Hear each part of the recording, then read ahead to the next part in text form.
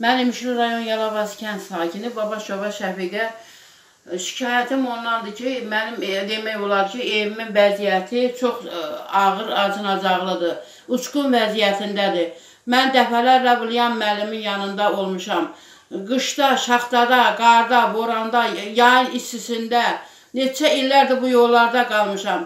Ağır vəziyyətdə ola-ola onlar demək olar ki, kənd nümayəndəsinə tapşırıb, lakin gəlib baxsalar da heç e, yaxşı nəticə e, verilməyib. Mənə köməklikləri olmayıb. Mən 30 yaşından dul oturmuşam. 4 uşaq sahibiyəm. Onları e, çox çətinliklə elə bilginə böyütmüşəm. 3 saldat yola salmışam.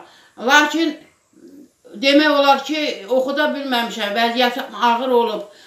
Uşaqlar çox acınacaqlı böyüyüb. İndi isə nəvələrimlə demək olar uçqun vəziyyətində olan evin altında yaşayıram. Sizdən xahiş eləyirəm. Mən dövlət baş, dövlət başçımdan xahiş eləyirəm. Nümayəndə yollasın, mənim vəziyyətimlə maraqlansınlar. Mən demək olar bu katib dəfələrlə yalanlarla, e, yalan vədlərlə məni yola salıb qayıdıb gəlmişəm. Ətrafındakılar da demək olar ki, hamısının sözü birdir. Bir sözləri birdir. Onları mən başa sala bilmirəm ki, mən hər axşam səhəri diri açıram belə yağışlar, qarlar, e, küləklər olanda. Xahiş eləyirəm. Sizdən kömək istəyirəm. Mənim vəziyyətim çox acınacaqlıdır.